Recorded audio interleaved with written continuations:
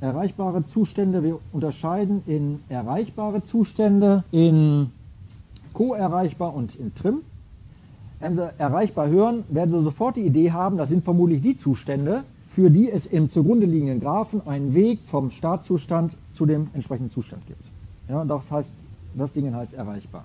Also erreichbare Zustände Q sind alle die, für die es einen Weg gibt vom Startzustand zu Q. Co-erreichbar heißt, wenn es einen Weg gibt von dem Zustand Q, der als co-erreichbar bezeichnet wird, zu irgendeinem finalen Zustand. Das steckt hier drin. Es existiert ein Weg von Q zu einem P aus F. Und Trim heißt erreichbar und co-erreichbar. Zustände, die Sie nie erreichen können vom Startzustand, ja, die tragen irgendwie zu der Sprache des Automaten nicht, nichts bei.